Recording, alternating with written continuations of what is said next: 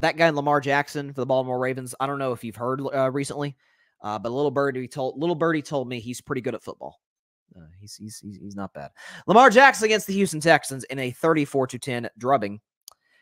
16 and 22, a buck 52 passing, two touchdowns, passer rating of 121, and a QBR if you round up to 94. And by the way, he had 11 carries for 100 yards and two more touchdowns. Lamar Jackson in totality had 252 yards total, two touchdowns passing, two rushing. That would count for four on the day. QBR 0 to 100 of 93.9 and a passer rating of 121.8. Simply put, he was nothing short of spectacular because that's Lamar Jackson.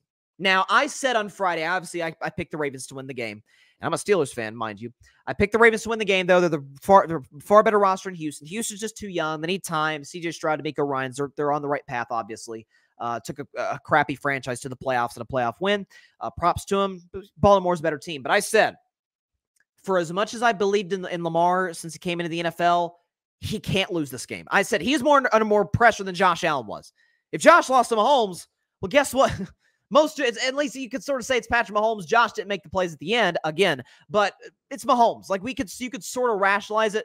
You can't rationalize Lamar Jackson losing to a rookie quarterback, rookie coach, a team that's really not even supposed to be there as the one seed, as a guy who's going to win a, a second MVP in his career in the divisional round, one and done. That couldn't happen for Lamar and the Ravens. Couldn't happen. And it was dicey. Houston blitzed a lot in the first half, and Lamar kind of struggled. And in the second half, uh, this is just the drive charts. This doesn't even take into account, into context, what uh, Lamar Jackson was doing with his arm and with his legs, which was just crazy. Just things that other guys can't do. But second half, Lamar Jackson, six plays, 55 yards, touchdown. The next drive, 12 plays, 93 yards, touchdown. The next drive, 11 plays, 78 yards, touchdown. And then they got a field goal drive there uh, at the end. Uh, I don't even know. Tyler Huntley. No, Tyler Huntley won the game at that point. Uh, no, I'm sorry. He was. He was at the game at that point. So that's Lamar Jackson. And it, it is, I, I, have said for years on carving it up that there's three quarterbacks I defend to the death.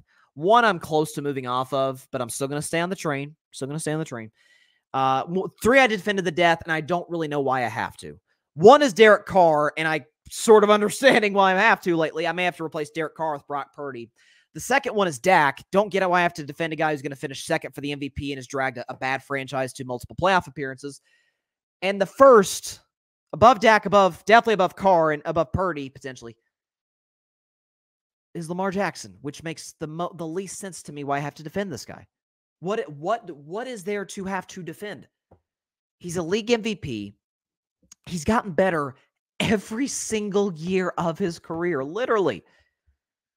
He comes to the NFL in 2018, takes over for a, I think there were a three and five Ravens team at that point, leads into the playoffs, but then loses to the Chargers. And it's like, ah, can he really beat you with his arm? Oh yeah, he can beat you with his arm. You know, all he does the year uh, a year later is lead the NFL in completion percentage and touchdown passes. You know, that's and wins league MVP, so he can beat you with his arm. But then they get blown out by Tennessee. Ah, can he win in the playoffs? Well, the next year he beats Tennessee in the playoffs.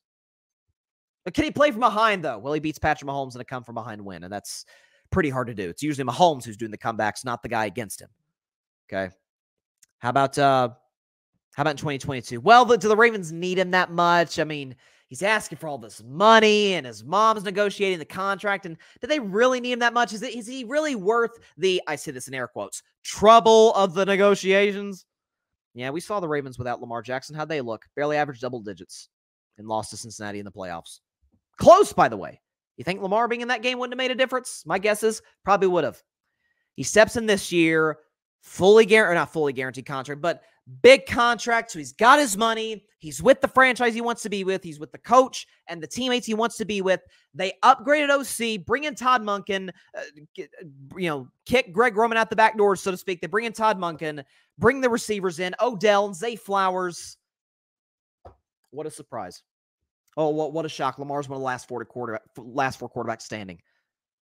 Again, I, I've said for the last few weeks, and I certainly maintain this Mahomes Burrow aside, there's no quarterback in football I want more than this guy. He has turned into not an elite thrower from the pocket, but a darn good one. He is objectively an elite thrower outside the pocket. Pro Football Focus graded him as the best quarterback in all of football throwing outside the pocket. We know what he can do with his legs. He's Michael Vick 2.0 in that regard. He's a great leader. He wins like 80% of his games. He's coachable. Again, gets better every year. Now he wins in the playoffs. Like, what more? Listen, if he doesn't get a Super Bowl this year, well, we look at it as, yep, see, that's why Lamar's not good. That's your justification now? he's a running back. Remember that thing that was trending when the Ravens were destroying the Dolphins? Quarterbacky. Oh, he's not. There was that one host who said he's not quarterbacky, and that got trending. Even LeBron James was talking about it. You know, at this point, if you are a doubter on Lamar, you don't necessarily have to have him as high as I do. I've got him third in the league. There's no, there's no reasonable argument. It doesn't exist that he's not a top five guy.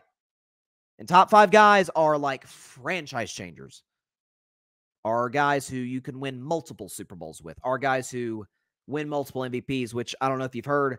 Uh, Lamar Jackson is the only multi time MVP playing in the NFL uh, right now. Rodgers is hurt, so we'll put him to the side. The other guy is the dude in Kansas City who's universally recognized as the best quarterback in football. If the Ravens lose to the Chiefs, it'll be highly disappointing.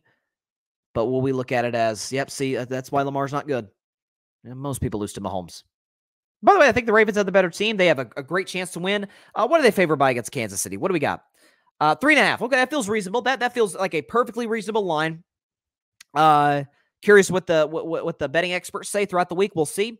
But I, I don't know what more you need to see from Lamar. Well, he can't throw. Well, he's you know led the league in touchdown passes in 2019 uh, and is the best quarterback in the NFL according to Pro Football Focus, throwing outside the pocket. He is the second coming of Michael Vick in terms of mobility. Even the haters uh, would acknowledge that. He's coachable and he's a great teammate and he wins 80% of his games. And the Ravens make the playoffs every year that he is healthy.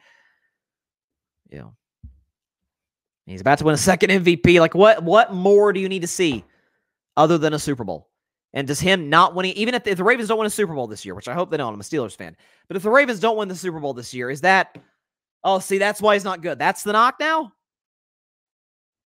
It's pretty, pretty sorry knock if I do say so myself.